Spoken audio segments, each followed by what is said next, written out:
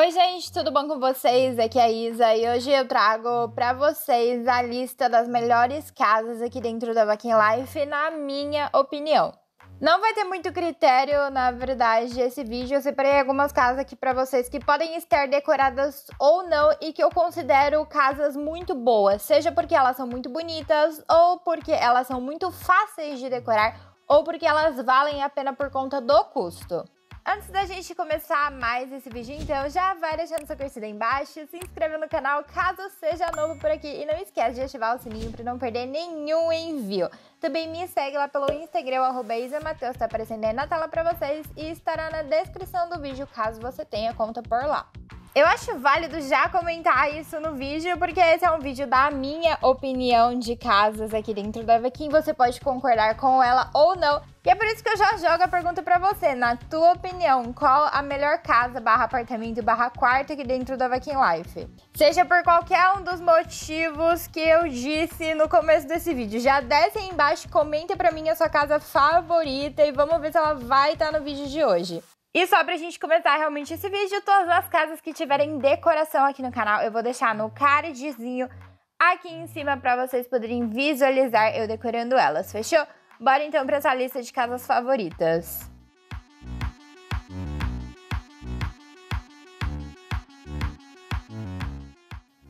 Primeira casa do vídeo de hoje, então, é o lançamento até que recente aqui dentro da Vaquin Life e é a Vila nas Maldivas versão noite.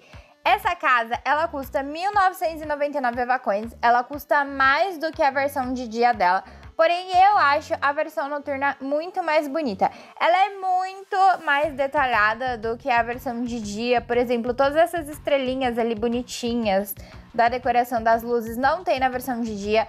Essas boias aqui dentro do mar tem, eu acho que uma boia só na versão de dia, então ela é um pouquinho mais cara, mas ela vale muito a pena. Ela é cara desse jeito porque ela é muito bonita e é por isso que ela tá nesse vídeo. Essa casa também é uma casa super fácil de decorar, porque ela é como se fosse um quarto de hotel. Tô fazendo um tour rápido aqui com vocês para vocês verem a decoração que eu fiz, mas tem a decoração completa no canal, como eu disse para vocês, vou deixar tudo aí no card. E é uma casa muito tranquila de decorar para quem tem poucos móveis ou quem tá começando no mundo da decoração e quer ter uma casa tranquila de decorar, porque ela é pequenininha, os espaços dela também são bem otimizados.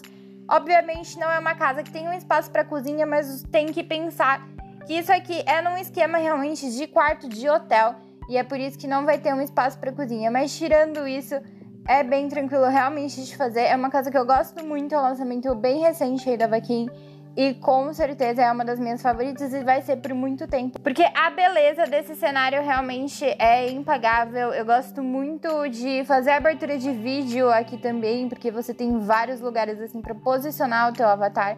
E tudo que você tira dentro dessa casa fica muito bonito. Qualquer foto que você tirar aqui em qualquer canto dela vai ficar maravilhoso. Gente, olha esse cenário com o barquinho ali no fundo, no mar, perfeito, zero defeitos. Já começamos esse vídeo aqui arrasando realmente. E Dona Gigi lá no fundo fazendo parte do cenário.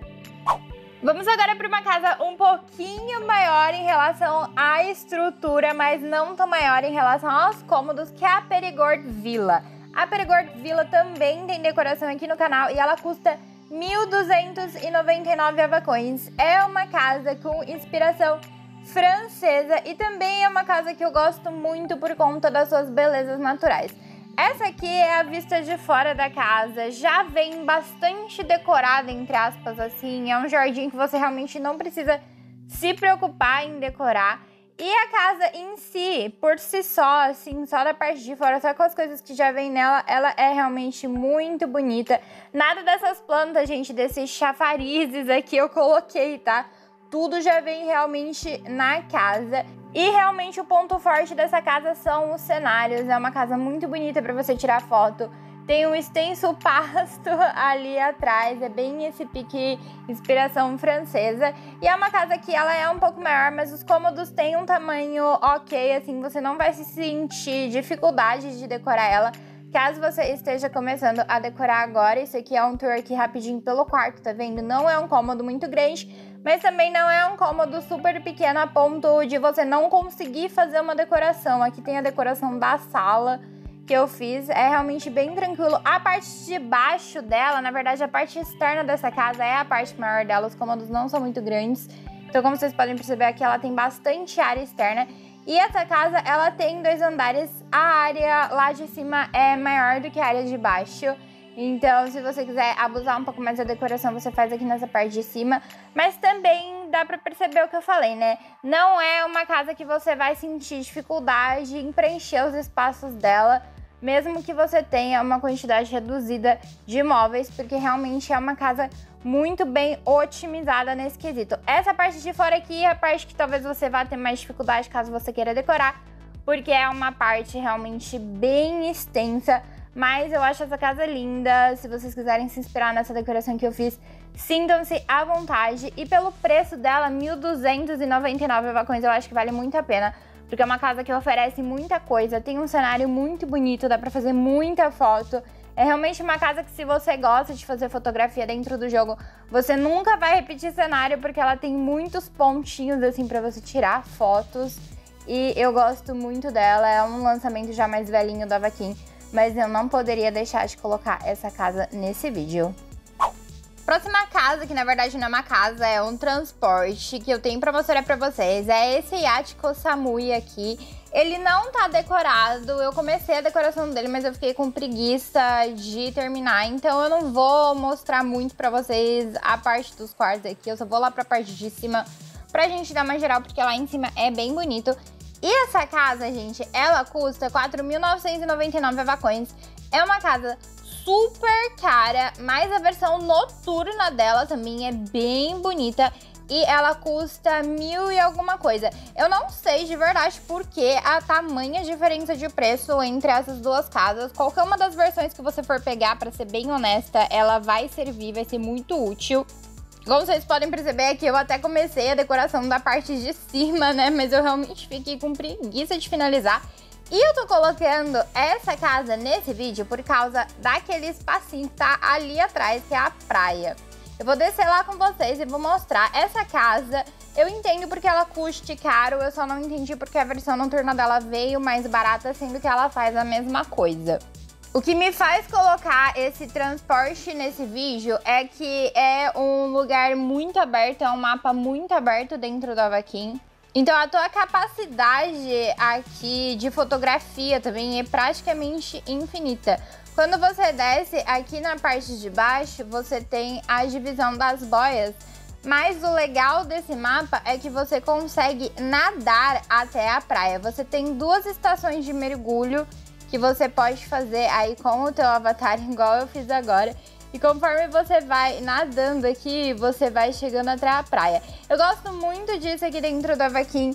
Eu gostaria que mais casas fossem desse jeito. Por exemplo, a gente subir uma escada em vez de ser redirecionado para outra sala. Eu ia gostar muito se isso acontecesse em mais casas da Vaquim. Mas eu coloquei esse apartamento aqui, esse transporte, exatamente por causa dessa parte. Também é uma casa muito bonita.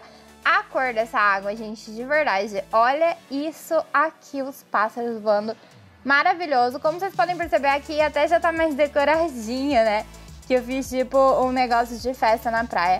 Mas é realmente um quarto que vale muito a pena. Novamente, qualquer uma das duas versões que você pegar, você vai ter acesso a essa praia particular. Bem-vinda a Maya Bay Crab Tailândia, gente. A coisa fina o negócio aqui.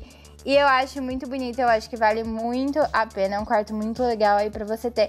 Mesmo que você não vá decorar ele, se você fizer só um negocinho na praia aqui, igual eu fiz tipo festinha, já dá pra juntar os amigos aqui e fazer alguma coisa bem legal.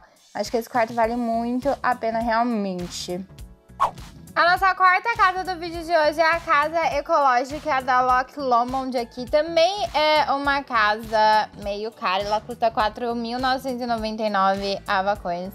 Mas é uma casa que eu gosto muito, tem a decoração dela aqui no canal. Também é uma casa muito bonita, com uma vibe natural maravilhosa. Essas casas que eu tô mostrando no vídeo de hoje, gente, elas são casas um pouco mais recentes aqui dentro do Avaquim. E a verdade é que se você comparar as casas antigas com as novas, na verdade não tem nem muita comparação. Porque as casas novas, elas têm um projeto gráfico muito mais elaborado.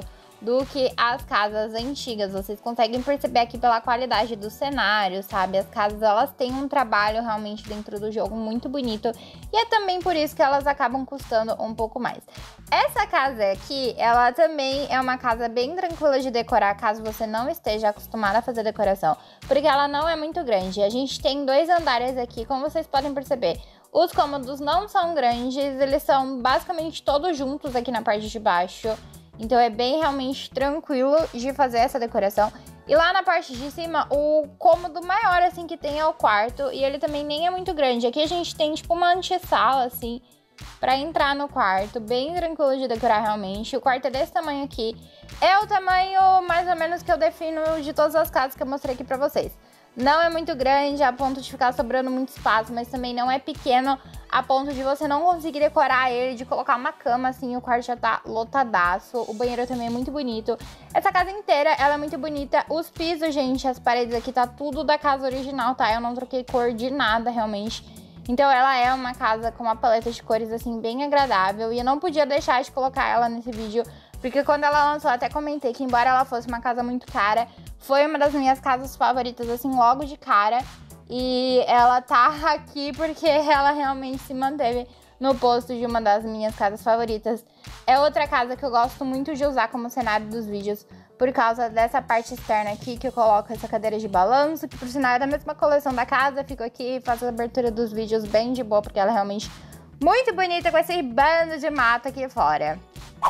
Vamos para a última casa do vídeo de hoje, que é uma casa bônus. Já que eu só mostrei casa cara nesse vídeo, eu separei o loft executivo da Brooklyn Bridge para vocês agora. E esse loft, gente, ele custa 199 vacões. Foi uma decoração que eu fiz na minha conta secundária, a Isidora. Então, é para mostrar para vocês que você não precisa de muitos móveis para decorar essa casa. Até porque eu, na minha conta secundária, não tenho quase nada de móvel. Tudo que eu tenho é presente das pessoas. E coisa que eu construí na máquina. E eu consegui decorar esse quarto de uma maneira até realmente satisfatória. É um quarto dividido em dois cômodos, bem tranquilo.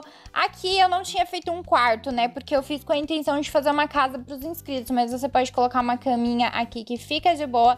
E eu gosto muito dessa casa por conta da paleta de cores dela. Eu acho essa coisa industrial, sabe? Essas paredes de tijolos muito bonita. A luz dessa casa aqui é muito boa. Se você quiser fazer um estúdio de gravação nessa casa, é uma casa legal para fazer isso. Então eu quis colocar ela nesse vídeo porque ela é muito acessível realmente e as possibilidades de decoração para esse apartamento aqui são bem grandes. Você pode fazer basicamente o que você quiser que vai ficar bom principalmente por causa da luz dessa casa, que é muito boa.